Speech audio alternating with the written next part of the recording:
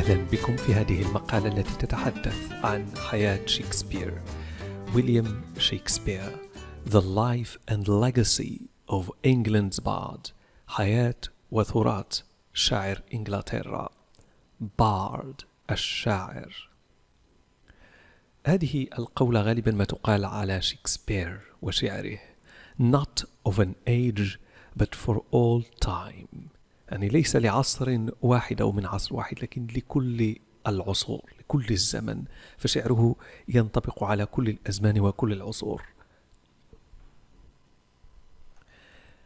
Shakespeare is England's most celebrated dramatist and poet.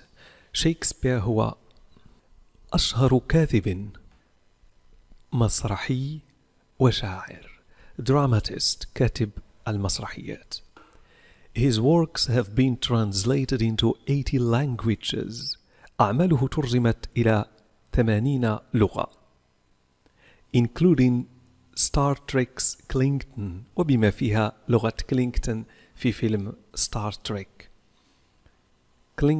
كلينغتون هي لغة اصطناعية يعني لغة لغة غير حقيقية فقط آه، صنعت وابتكرت لأفلام ستار تريك He helped shape the English we use today ساعد على تشكيل اللغة الإنجليزية التي نستخدمها اليوم. Shape يشكل شكل. Introducing up to 300 words and dozens of well-known phrases. وقدم للغة الإنجليزية ما يقارب 300 كلمة والعشرات من العبارات المشهورة. Well known مشهور معروف. phrases جمل والدازنز هي الدازينة يعني 12 والمقصود بالدازنز هنا مجموعة أو العشرات فنقرأ هذه الفقرة بشكل كامل Shakespeare is England's most celebrated dramatist and poet. His works have been translated into 80 languages, including Star Trek's Clinton. He helped shape the English we use today, introducing up to 300 words and dozens of well known phrases. His plays are known around the world for their universal themes and insight into the human condition. Yet, much about the playwright is a mystery. Historians don't know his date of birth, where he was educated, or how he spent seven years of his life. مسرحياته معروفة حول العالم. His plays, plays المسرحيات known معروفة around the world for their universal themes لمواضيعها أو ثيماتها العالمية universal themes theme موضوع and insight into the human condition وبصيرتها في أو نظرتها الثاقبة للحالة البشرية أو للوضع البشري فإنسايت تعني نفاذ البصيرة القدرة على فهم فهم عميق في اللغة الإنجليزية تترجم ب أو هذه هذا هو تعريفها the capacity to gain an accurate and deep intuitive understanding of a person or thing. Yet, much about the playwright is a mystery. مع ذلك فالكثير بخصوص كاتب المسرحيات غير معروف. يعني كاتب المسرحيات هذا شكسبير. ف playwright playwright كاتب المسرحيات. play هي مسرحية. historians don't know his date of birth. لا يعرف مؤرخون يوم ولادته. تاريخ ولادته. date of birth تاريخ الولادة. date of birth where he was educated أين تلقى تعليمه where he was educated or how he spent seven years of his life أو كيف قضى سبعة سنوات من حياته يعني سبع سنوات الأولى من حياته 26 April 1564 ويليام شكسبير christened يعني في هذا التاريخ تم تعميد ويليام شكسبير كريسن هو عندما تعطي الاسم للطفل اسم مسيحي christened يعمد. There is no record of Shakespeare's birth. لا يوجد هناك سجل لمولد شكسبير متى ولد. Birth الولادة. But his christening is recorded. لكن تم تسجيل تعميده. It was usual for christenings to take place on the third day of the birth. عادة ما يتم التعميد أو يحدث في اليوم الثالث من الولادة.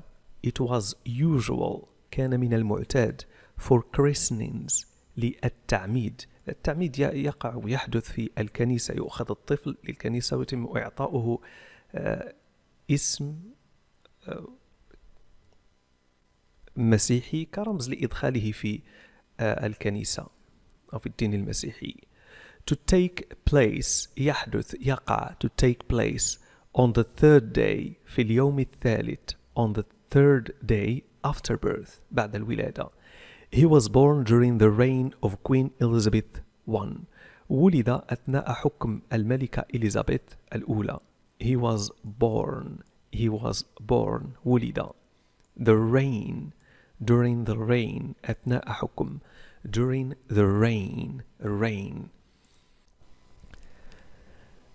who had recently converted England to Protestantism والتي حولت حديثا إنجلترا إلى المذهب البروتستانتي بروتستانتيزم بروتستانتيزم المذهب البروتستانتي في المسيحية convert يحول حول Shakespeare's parents had been Catholics أبوي شكسبير كانوا مسيح كاثوليكيين and the tension between the new and old religions can be seen in much of his work والتوترات بين الدين القديم والدين الجديد يمكن رؤيتها كثيرا في أعماله tension tension tension توتر religions أديان William's father John Shakespeare was a member of the Borough Council of Stratford upon Avon أبوه كان عضوا في مجلس بلدة ستراتفورد أبون ايفن ستراتفورد أبون ايفن هي بلدة وكونسل المجلس بارو هي مقاطعة أو بلدة تاون لاحظ النطق بارو أو لا بارو بارو تنطق كذلك ببارو بارو John Shakespeare was a member of the Borough Council of Stratford upon Avon William was the third of eight children, though his two elder siblings did not survive childhood. كان ويليام الثالث من ثمانية أطفال على الرغم من ورغم ذلك فأخواه الكبيرين يعني الأكبر منه لم ينجو في طفولتهما though though though لكن على الرغم من though his two elder siblings. أخواه الأكبر عمرا. Sibling تعني أخ أو أخت. هذه الكلمة. Sibling أخت أو أخت. Siblings الإخوان بما فيهم البنات أو الأولاد. Siblings. Did not survive. لم ينجو. Childhood الطفولة يعني في طفولتهما. آه هذا هو البيت الذي يعتقد أن شكسبير قد ولد فيه. Shakespeare is believed to have been born in this house on Henley Street, Stratford. شكرا لكم على المتابعة وأتمنى أن تكونوا قد استفدتم من هذا الدرس. إن تعلمتم أي كلمات جديدة أذكروها في الوصف. ما هي الكلمة الجديدة التي تعلمتم؟ من هذا المقال. سأشرح بقية المقال فهو طويل جدا. سأشرحه فيما بعد. إلى اللقاء.